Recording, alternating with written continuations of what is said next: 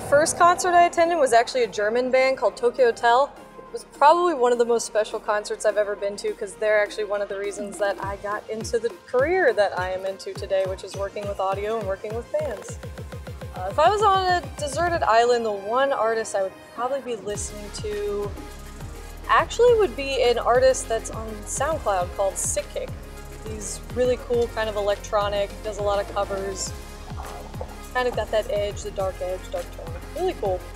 To me, being a Seminole Hard Rock calendar girl, it's a big thing. It's about going out there, being with your community, and saying, hey, this is the Hard Rock, we're here, we love our community, we're out here to support, and here's all of us that'll do it.